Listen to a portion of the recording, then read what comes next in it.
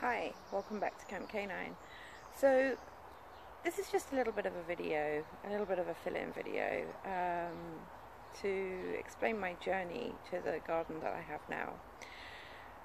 We moved into this property four and a half years ago, I think it was, I'm not quite sure. Uh, previous to that, I had been in properties that had had either communal gardens or a small garden or a patio garden that I didn't feel I could properly properly grow vegetables in, and I I really did want to become more and more self-sufficient. That has been one of my dreams. Um, I don't know why it's in here, um, and it needed to come out, and um,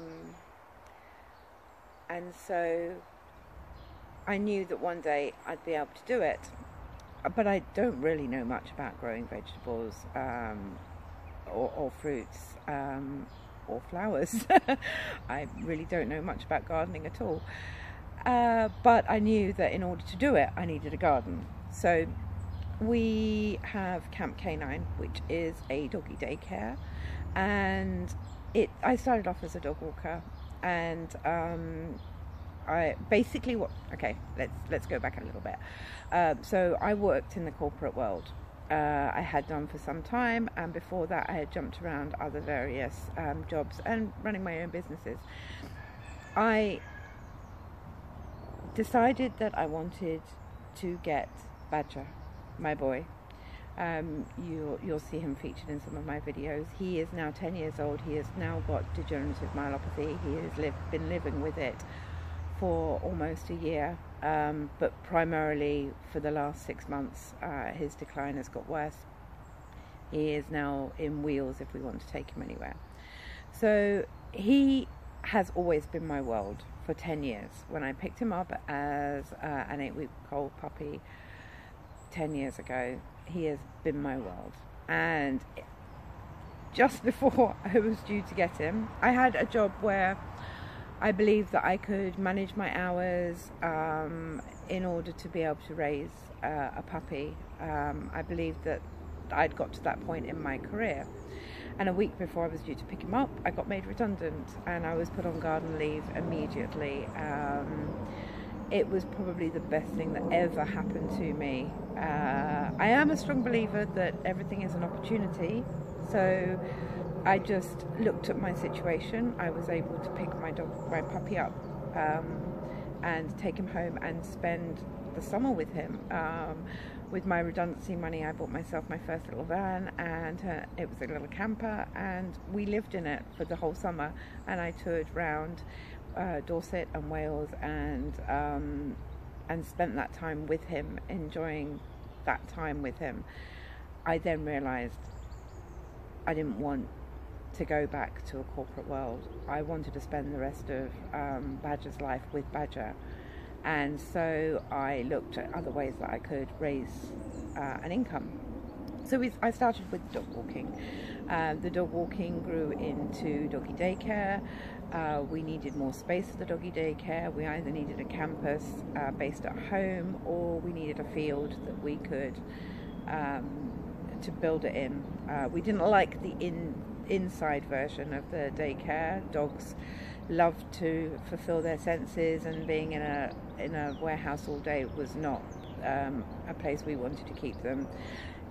Our dog family began to grow as as Camp Canine began to grow, and we realised that they'd go stir crazy in a field as well. So really, what we wanted to give them was a a home-based daycare uh, where they could have all the creature comforts of being in a home with a prop- with a nice garden and comfortable sofas and um, somewhere nice and warm when it was cold and somewhere nice and cool when it was hot, and then have some land we could some private land we could walk the dogs on away from the the rest of um, the public world, cyclists, riders, children, nervous, anxious dogs, anything else that you come across when you're out in the world uh, in public spaces. And we found this place, um, and everything fell together. Uh, it had the right amount of space for us. Um, there was a farmer close by who had a strip of land that um, wasn't being used for much, so we could walk on there. And um, and yeah, it all fell together. And I had my garden for the first time, and I was desperate to start planting in it. Now the only problem was was I didn't have any knowledge, and I didn't have um, I didn't have a huge amount of time. I was still building up the house and the business and, and working out how we were going to be um, working from this new property. But I was desperate to plant. So, year one, I grabbed a handful of tyres, um, painted them, put them on the, in the front garden, away from where the, the dogs were filled them with some compost and stuck a plant in each of them. I think that year was uh, cucumbers, courgettes, peas, possibly a tomato plant. I'm not sure. Can't remember on the tomato plant. Um, anyway, the the peas went mouldy.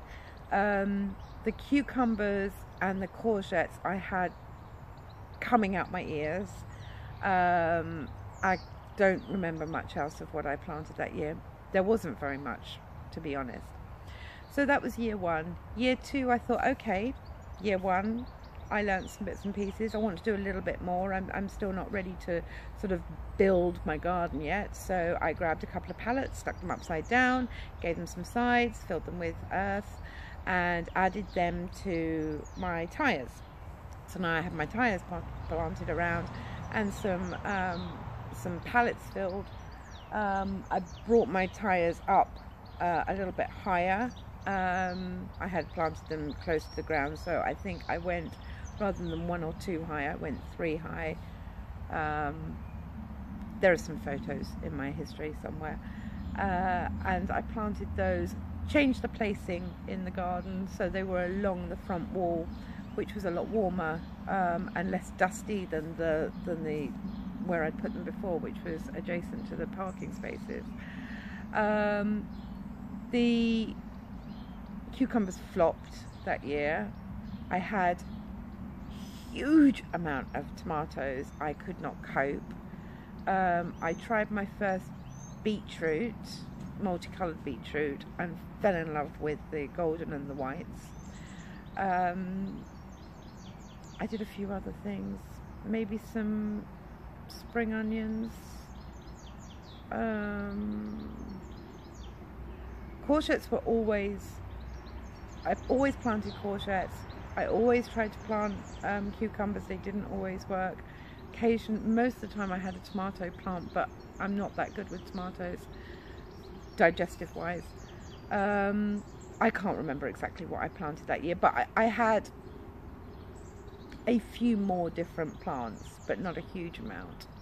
Um, definitely hadn't entered the brassicas, and the beetroots were my first uh, root veg. So I grew those, and yeah, they were. I discovered cucamelons for the first time. Um, they were hilarious, and yeah, it didn't. It didn't go. It didn't, didn't go too badly, but cucumbers absolutely failed. But so did everybody else's that I was talking to. So that helped me feel that it wasn't me. That it was it was just that was my learning curve of you can do everything that you that you can. Um, at the end of the day, some things are out of your control. So that was that year. That was the second year. The third year, I have been donated in the second year, I've been donated some boats to use in the playground for the for the doggy campers, and they had worked out well, but they had holes in them, so they weren't holding water, so they were no good for paddling pools, um, which was their initial intention, and. Um, so then we'd use them as toy boxes, but then over the winter that had got all very messy and we thought right we're going to clean them out what should we do with them and i said i'll take them into the front garden and i'll use them as raised flower beds so i just put one down one side of the garden and one down the other side of the garden and planted them up again i I plant. I went a little bit more. Little bit more into various different species. I'm trying to think what I did that year. I did. I did. I did a fair amount of different um, types of vegetables that year. Uh, I planted. I planted out one boat um, with all my. I went to the shops. I was still buying little seedlings and little plants. I, I wasn't doing the whole seed thing. Uh, this was just me learning a little bit more about um, planting, and I, I did one of the beds. One of the one of the boats, I did an iceberg lettuce with a red cabbage, with an iceberg lettuce with a red cabbage, all the way down one side, and then on the other side, I did. I don't know, pak choi with something else. Down the middle, I had some chard and some spinach, and I had some beetroots in there, and some radishes for the first time, and some spring onions. Um, and I had planted these meticulously in their little rows individually. I'd done a really neat, tidy job. I was so proud of myself. Um, it had been a long day working on there. I went inside, I had a shower, I looked out my bedroom window to look at my beautiful boat, and I saw my Egyptian dog in the boat digging it up. And I screamed and I came running out after her, um, got her off the bed, and my beautiful bed was a complete mess. Uh, and all I could do was just try and neaten it up a little bit and put things more or less back into their spots um, and try and make something of, of what was a, a mess. Uh, and then my lovely looking boat had to be wrapped in um, a netting uh, fence all the way around, all the way around it, so that um, the dogs could not, uh, or the cats could not get to it. Uh, the cats still managed to occasionally, but the dogs couldn't get to it. So my beautiful, pretty-looking garden, until the plants got really established, then all the netting came down. And once once the earth has disappeared, the dogs are less inclined to go and want to dig in it. So um, you only need to do it for a, a, a small amount of time. So that was one of my beds. Uh, on the other boat, I planted um, a couple of the squashes. I tried corn for the first time. That failed completely. Um, trying to think what else I did. Oh, I know. I sowed seed for the first time. I didn't know what I was doing, and I had very little faith that I could grow anything from seed. And I bunged a load of carrot seeds into the boat and oh my god they grew and grew and grew and they did so well and they were my real boost into believing that I could grow things from seed. Um, I then planted some spinach from seed and that just failed. It never it never came up. I planted some rocket from seed that never came up. Um, but I did grow some some courgette from seed and they grew very well.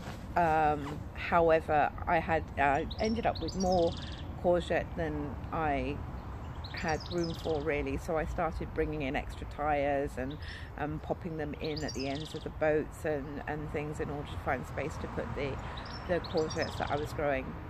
Uh, but that year I had a really bad case of powdery mildew that appeared on one one plant over on one side of the garden and I tried to save that plant and it just ended up spreading throughout the whole garden and taking out all of my squash and I think I ended up maybe having five squash uh, it wasn't squash sorry it was courgette five courgettes off of six six to eight plants so this year, if that happens, that plant is going. It's not going to get the chance to spread. I will, I will do anything to stop the spread of um, the powdery mildew. Uh, you can make mixes, spray mixes, and spray your plants. I did do that. I, I tried my best to try and fight it back. It wasn't going to happen. So, um, what else did I do? Um, inspired by my carrots, I had a pepper, a couple of peppers that I had bought from the shop that I was cooking up, and I looked at the seeds that were on my chopping board, and I thought, I'll have a go. So I planted all of the pepper seeds, and they came up like crazy. I had incredibly full uh, conservatory full of pepper plants, and um, it was too late in the year. Really, it was really, really too late. I can't remember. It was sometime in June, I think, that I planted them. They came up well, and they produced a lot of little peppers, but they never really grew to anything much. But again, it was me just trying something out, planting seeds, and um, being encouraged myself, encouraging myself that I was capable of growing things from seed. So that was pretty much how last year went. And then this year, I decided this was the year. This was the year when I was going to build proper raised beds because my back and my knees are not good. So, raised beds to make it easier, and I was going to see how much I could plant. Now, Brian is not that keen on vegetables. He's very keen on becoming a vegetarian. He's not that keen on vegetables. He doesn't particularly like things that are green. So, uh, a common thread through everything that I have been growing is that if there's an alternative to a green, I will grow that. So courgettes were my first. So when I discovered that, that you could get yellow courgettes, I was growing yellow courgettes rather than green courgettes, purple broccoli rather than um, green broccoli, purple sprouts, although they failed. Um, I, oh, that was something that I grew last year, last year or the year before. I tried them in the past anyway, and the um, the caterpillars got them, all of them. So I lost those completely. Um, so I've lost my train of thought. What was I talking about? The raised beds for this year. So I started with the ones behind me. Started building the pallets, building them out of pallets, just rectangular. They were too tall, so I chopped the tops off, making them a little lower. Then I had the tops left over, so then I made low beds um, out of the top bits and I soon had what I was going to be planting in them pretty much sorted. So I decided that the two boats that I uh, that I had, I would put over on the other side in the sun, in the main sun area, and I would plant in there. Um, then I discovered that you can get these pallet crates that people throw out, which are pallets that have got sides to them. They're normally used for um, tiles, patio slabs, roofing tiles, those kind of things. So I went on the hunt for them and I collected as many matching pairs as I could to keep the consistency and um, and help with the design and I set those up. So basically the the frames of my raised beds were all salvaged. There was no cost involved in them. The only cost was actually just finding, driving round and finding them, which I was generally doing when I was on my pickup and drop offs for my dogs and,